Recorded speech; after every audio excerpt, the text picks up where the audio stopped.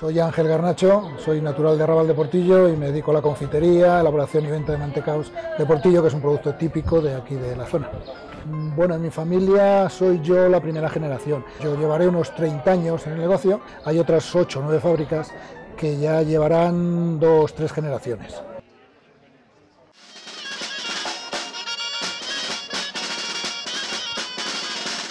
El manteca de portillo es una pasta seca que se hace con manteca, harina, huevos, se echa vino para darle consistencia. La elaboración es muy lenta, con lo cual se baña uno por uno a brocha, como ya has visto tú hace un momento, y se baña uno por uno. Entonces entra primero la parte, por así decirlo, la parte de la pasta, se cuece a 330 grados y se cuece durante 10-12 minutos con lo cual da una consistencia y una dureza bastante buena.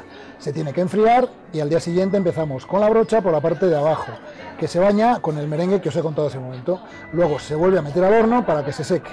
Una vez seco, se saca y se tiene que dejar enfriar otra vez, porque claro, se ha calentado la masa, lleva mucha manteca, entonces no se puede manipular. Se vuelve a dar con la brocha por encima y por los laterales. Entonces ya se vuelve a meter al horno otra vez para que se seque la nueva parte que hemos pintado se vuelve a sacar del horno y tiene que enfriarse otra vez. O sea, es una elaboración muy lenta y muy laboriosa. Trabajo físico no, pero es muy, muy laboriosa.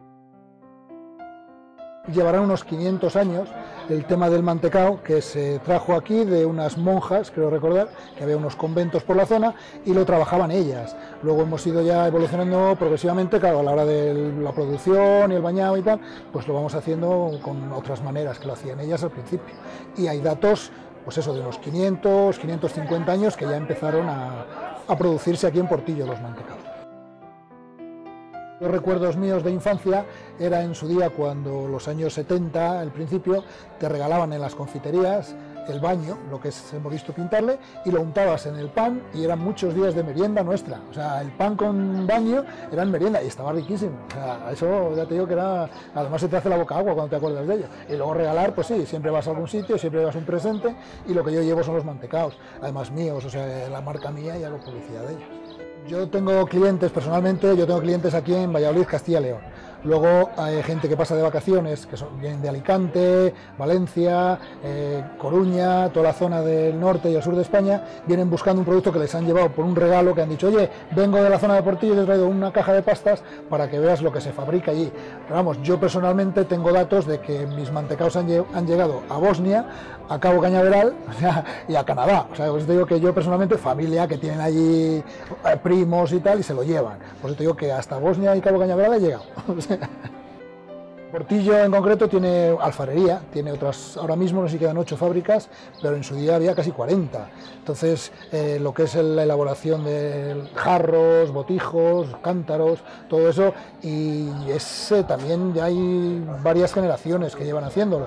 Lo que pasa que luego ya ha empezado mucho en declive, cuando empezó el plástico y tal, pero bueno, todavía el pueblo se mantiene. Lo que es la zona de la labranza, el ajo, también se trabaja mucho aquí en Portillo, y se comercializa a nivel internacional. O sea, por eso te digo que está muy bien. Lo que más así se mueve es eso, el mantecao, el ajo y la alfarería, que es lo tres, las tres, los tres emblemas de, de de Portillo y Portillo. Tenemos el castillo, tenemos un aljibe, que es donde se conservaba antes el agua para disponerlo en los pueblos, en la Edad Media las vistas panorámicas desde la zona, que son, vamos, eso es digno de ver. Tiene que venir cualquiera para ver lo que es el entorno de Portillo, que se divisa pues casi a 40 kilómetros en la redonda. Eh, los parajes pinares, eh, luego hay fiestas que son encierros a caballo por las tierras, que le sueltan desde un corral que tienen a 4 o 5 kilómetros de aquí y vienen con caballos haciendo un recorrido muy típico y muy bonito por la falda de la montaña y eso es lo que, vamos, llama muchísimo la atención.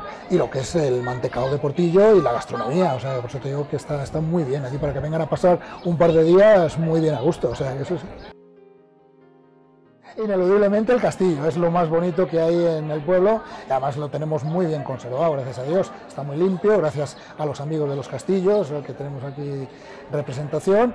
Y oye, yo para mí me gusta muchísimo lo que es el castillo y las vistas panorámicas, te vuelvo a repetir, desde la zona de los picos, o sea, es que tú tienes un panorama que si vas a verlo luego te vas a encantar, o sea, tú mismo te vas a quedar encantado de ello.